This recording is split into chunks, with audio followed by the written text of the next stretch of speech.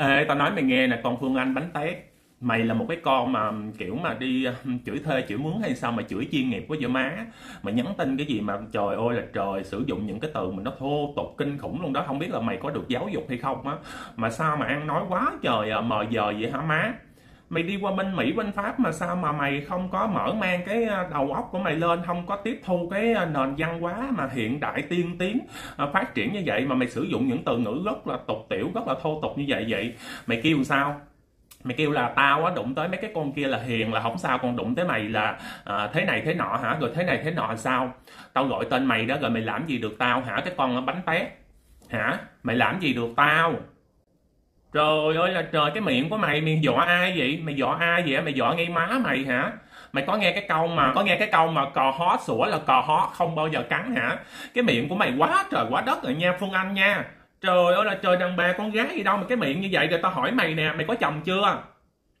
Hả? Cái miệng như vậy không biết có thằng nào chịu đựng nổi mày không đó nha mày quá trời quá đất rồi ha mày kêu làm à, mày không có đụng chạm gì tới tao hết tự dưng sao tao ghéo gọi tên mày chi hả? Ê tao nói mày nghe nào phương anh không phải một mình tao chửi mày đâu. Nói sao phương anh mày kêu là sao tự dưng tao gọi tên mày hả? Đâu phải mình tao gọi tên mày. Tao thấy rất là nhiều người hàng triệu người gọi tên mày á chửi mày đó. Ha chắc là có vẻ như tao là người chửi hay nhất cho nên mày mới uh, lôi tao ra đúng không?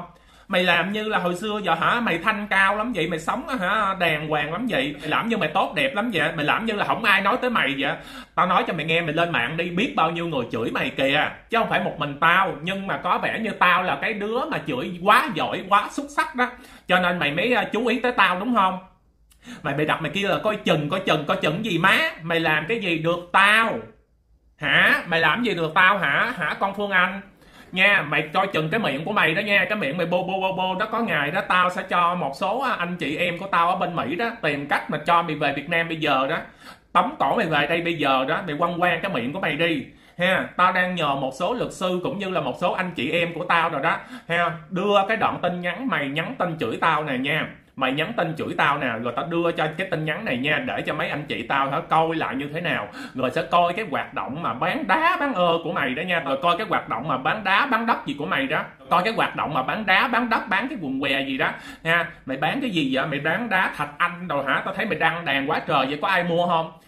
Trời ơi là trời, rồi mày kêu là tao không liên quan gì trong câu chuyện này, tự dưng sao chửi mày? Rồi tao hỏi mày mày liên quan gì tới cái câu chuyện của ờ, hồng loan? Và gia đình của chú cố nghệ sĩ ưu tú Vũ Linh, mày cũng chỉ là một cái con mà đi hâm mộ người ta thôi. Mày cũng chỉ là một cái con khán giả thôi mà mày xỏ cái mỏ vô trong gia đình của người ta. Ủa, không lẽ con mình mày được quyền nhiều chuyện? Không lẽ con mình mày được quyền xỏ cái mỏ vô chuyện của người khác mà mày không cho người ta xỏ mỏ vô à? Tao thấy mày xỏ cái mỏ vô mà xỏ sai, xỏ tào lao bất xế, cho nên bà nội mày mới lên tiếng để mà dạy dỗ mày, cho mày cho mày đi đúng đường, đúng hướng. Chứ bây giờ tao thấy mày sai như vậy mà tao không lên tiếng thì làm sao mày biết mày sai, đúng không phương anh? Trời ơi là trời đã đi qua tới mỹ rồi mà không có quên cái cái nốt nhiều chuyện. Xỏ cái mỏ vô, làm quan quan quan quan cái họng mày he, trời ơi, cái giọng của mày á, chị nói cho em nghe nè, chị nói cho em nghe nè. Mày làm cái gì vậy? Hả? Cái tài sản đó nó có liên quan gì tới mày không? Mà mày xỏ cái mỏ mày vô. Tao hỏi mày nè mày có liên quan gì tới cái câu chuyện của cái gia đình của chú? Mà mày xỏ cái mỏ mày vô. Mày đôi quyền lợi cho ai? Mày kêu là không để cho một cái đứa con nơ nuôi. Mày kêu là không để cho một đứa con nuôi à, lấy hết những cái à, tài sản à, mồ hôi công sức của những người kia. Công sức gì ở đó? Mày có biết cái gì không? Hả phương anh? Rồi bây giờ mày mày đặt nhắn tin mày hăm dọa tao hả? Mày kêu là uh, coi chừng mày rồi không yên với mày hả? Không yên thì mày làm cái gì? Mày làm cái gì tao?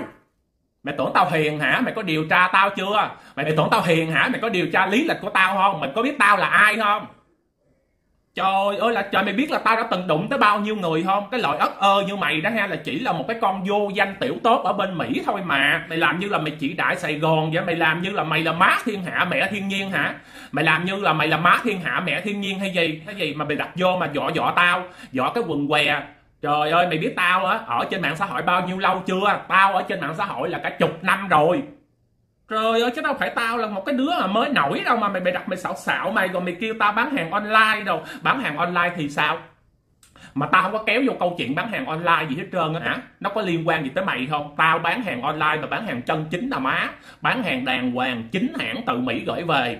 Ha rồi mày còn kêu tao là uh, lấy cái đứa nhỏ ra lấy cái đứa con ra để mà hả um, coi như là uh, câu like câu view. Không có câu like câu view gì hết trơn á má. Tao đã nổi tiếng rất là lâu rồi. Giờ bây giờ tao không có lấy đứa nhỏ ra tao cũng vẫn rất là nổi tiếng.